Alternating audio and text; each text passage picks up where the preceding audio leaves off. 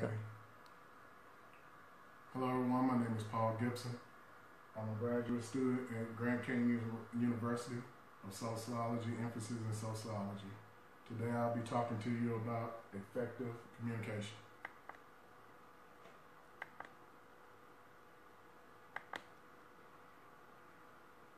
What is communication?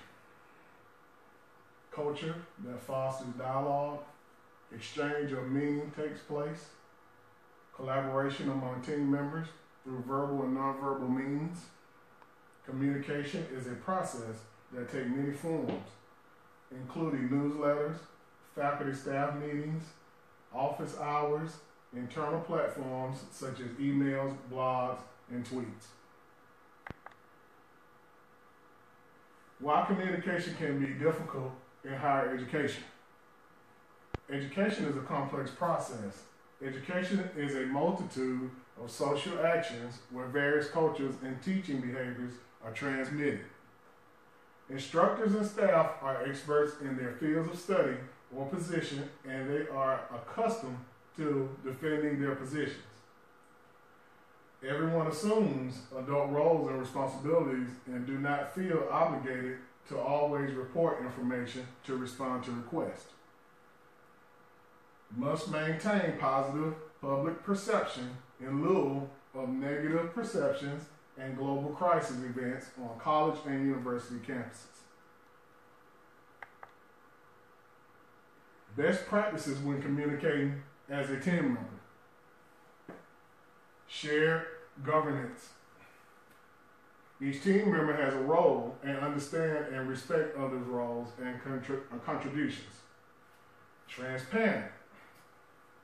Each team member must be clear on their ideas and thoughts. Authentic. Each team member must be genuine and use facts so that they, you, so that your contribution is believable. Welcome conflict. Listen more, improves relationships, establishes a pattern of predictability, and adds new perspectives.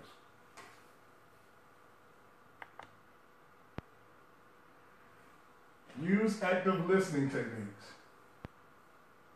Stop. Look. Listen. Be empathetic.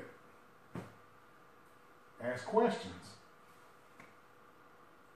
Paraphrase.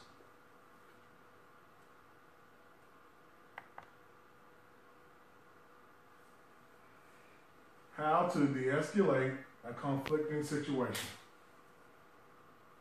Avoid the need to be right. You don't always have to win the conflict. I'm right and you're wrong scenario. Another one. Find, a hum find humor in the battle to keep the argument from getting out of hand. Work to see both sides. Often there is no right way or wrong way of doing things. Conflict resolution can be helpful by having two people work to find a way that will meet both of their needs.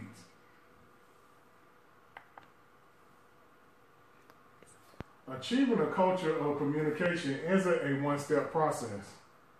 It involves strategy and pur purposeful implementation implementation, I'm sorry, but it can, it can make a significant difference for leaders, for faculty and staff members, and for students. And these are my references where I got my information from here. And I thank you for your time and your patience with me.